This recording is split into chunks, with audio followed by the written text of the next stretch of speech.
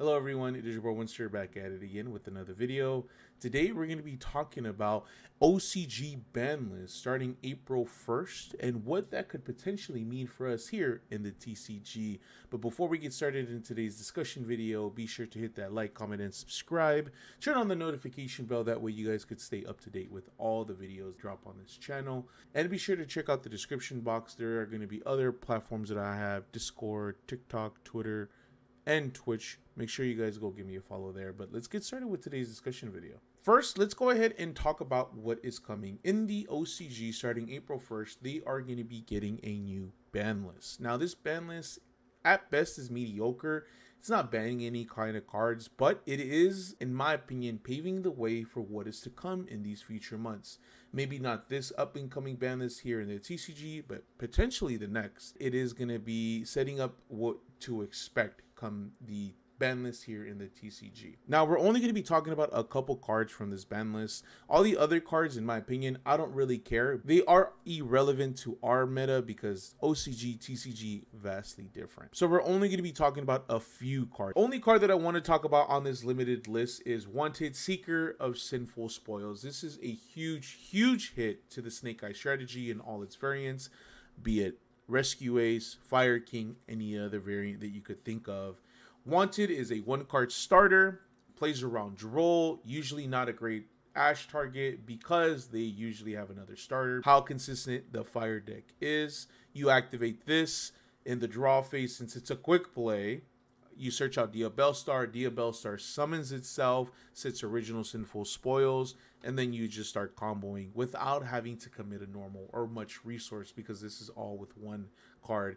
Once you get to the Diabellstar, you have to have another card, so it's 1.5. But on top of that, if you do manage to get that combo line out, you could banish this card, shuffle back in the original Sinful Spoils, if it was negated or if it wasn't, and then you draw a card.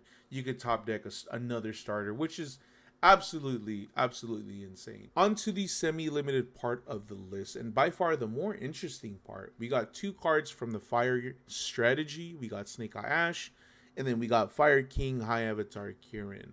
Now, Snake Eye Ash, pretty straightforward. It's a huge part of the Snake Eye strategy and all its variants all play this card and they max out at three.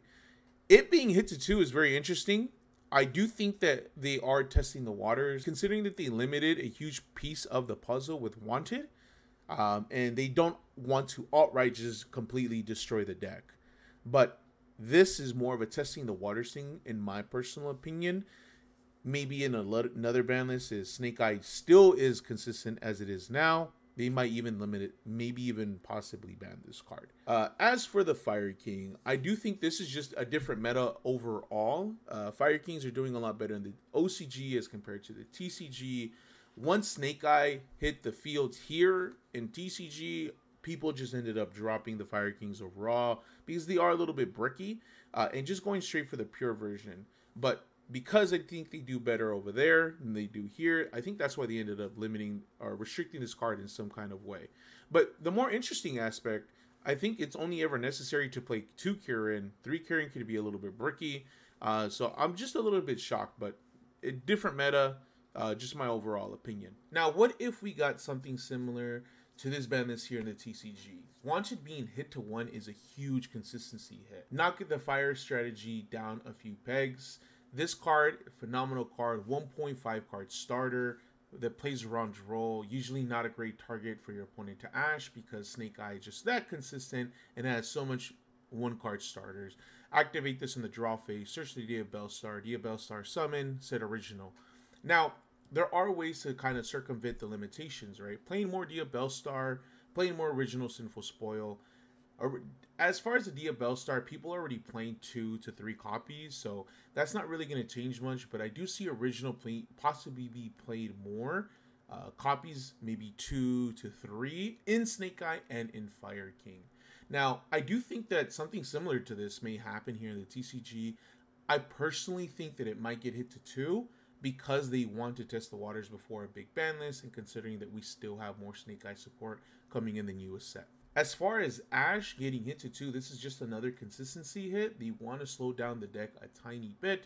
Uh, Ash being a one card starter, normal summon, search the Poplar, summon the Poplar off of its own effect, and then just start comboing. It makes a lot of sense for it to go to two, but I think at the end of it all, it's going to be hit to one. I personally don't think it's going to be banned, but I do see it being hit to one.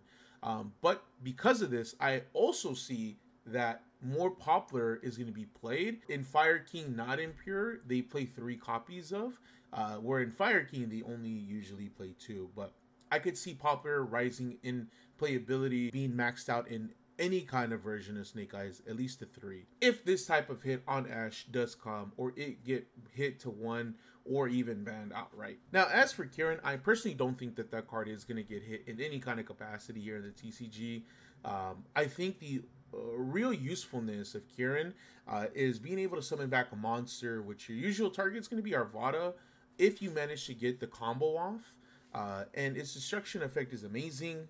Um, but I think it's really useful in terms of effect negation dodging, like Imperm and Effect Veiler.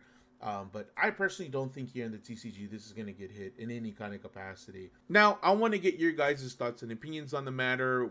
How do you think this is going to affect us here in the TCG? Is it going to change anything? The ban list that we get first, is that going to have the Snake Eye changes?